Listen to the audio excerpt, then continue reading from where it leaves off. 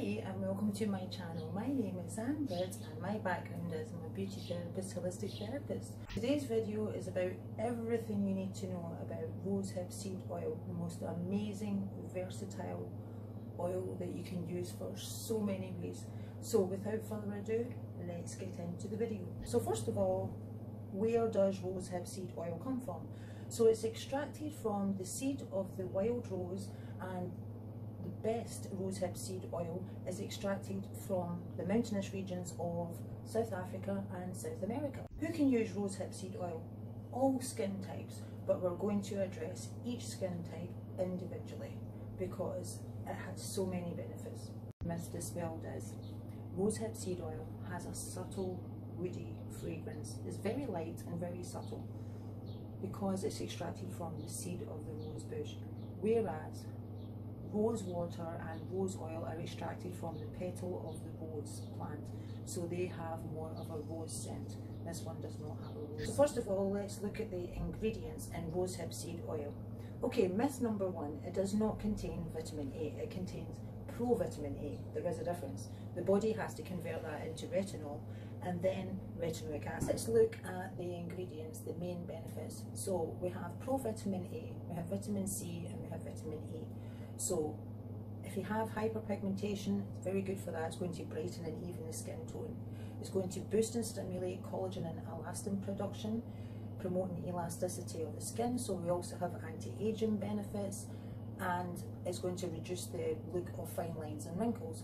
Also excellent for post-surgery scarring and also for acne scarring very good for wounds and very good for healing the skin. Rosehip seed oil has actually been used for since ancient times. We have essential fatty acids, which is omega-3 and omega-6, and what they do is it's intensely hydrating and moisturizing for the skin. They maintain the health of the skin barrier and they also heal the skin. So now we're going to look at the texture and the packaging and what to look for when you're buying your rosehip seed oil. So let's talk about the texture and the colour of rosehip seed oil. So it's a very, it's termed as a dry oil because it's easily absorbed into the skin. It does not leave an, a heavy greasy residue. And it ranges in colour from a deep golden hue to a rich red orange colour. Obviously it depends on the batch that has been picked. An amber bottle with a dropper format. You only need to use two or three drops. You do not need to use much. The reason why the rosehip seed oil comes in an amber bottle is to protect it from sunlight.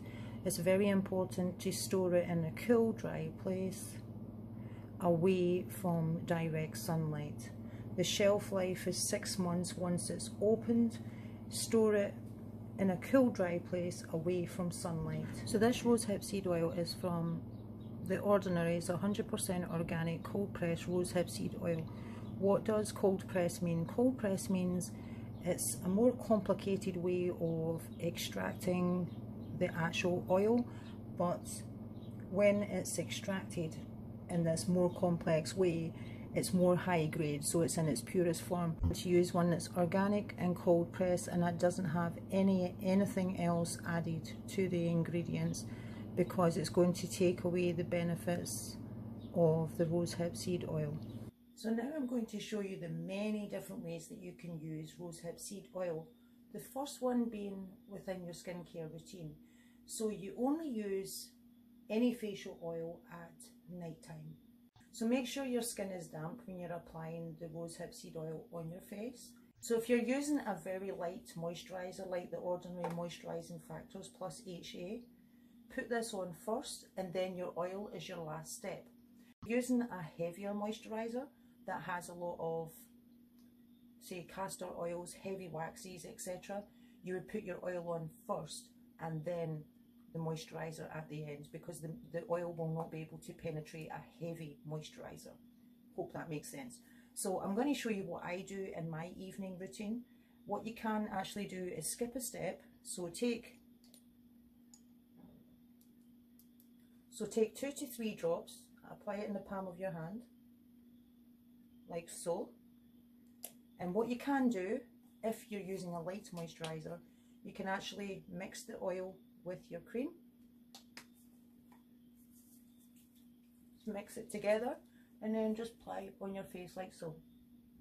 Use this. Another way you can use rosehip seed oil is you can apply it directly to the skin.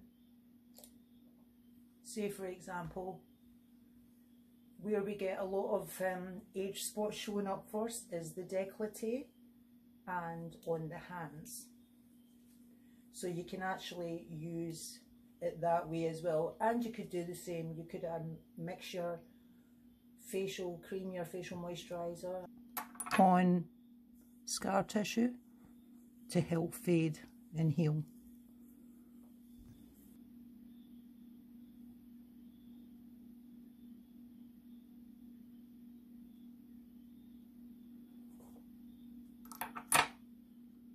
Another way you can use rosehip seed oil is you can massage it into your cuticles nightly to nourish the nails and strengthen them and also prevent dry cuticles. Another great way to use rosehip seed oil, again for the hands, see the age spots? You can mix with your hand cream.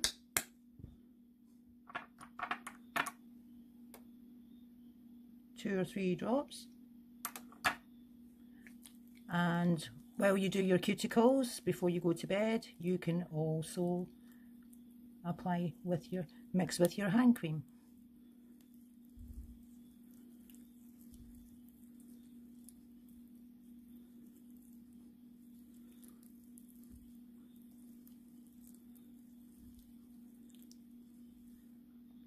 Give your hands some extra moisture.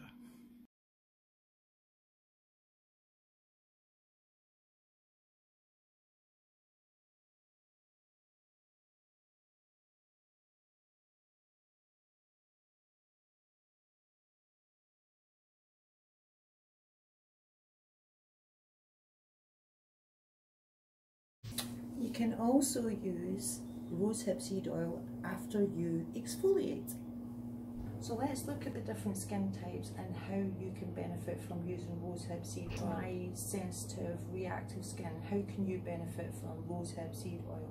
Well, because of the essential fatty acid content, the omega-3 and the omega-6, because it's very good at retaining the moisture and it's intensely hydrating and nourishing for the skin and moisturizing, you can benefit from rosehip seed oil because it's good for maintaining a healthy skin barrier and protects the skin barrier. Also because the vitamin E is very healing on the skin and repairing and very soothing.